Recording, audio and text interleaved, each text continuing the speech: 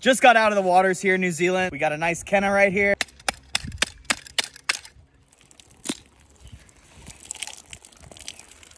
Oh yeah, this is- oh man, they're, oh! I'm getting bit by so many flies right now, bro. Oh Put your wetsuit back up, bro. Right. Nice creamy kina. That's how you know it's a good one. Each kina is gonna have five of these gonads, they call them. Look, when they're white like that, that's how you know it's good. It's Coming. This is literally what I traveled across the world for, gang. White stuff is how you know it's gas. That's how you know it's good. Bro, that was a real good shot. The taste was so good. Sometimes you eat the bristles. It's okay, you just spit them out. Getting wrecked by sand flies. The last gonad. This is what's left of the sea urchin. You throw that into the water. So good. Check out the scenery. Gorgeous place.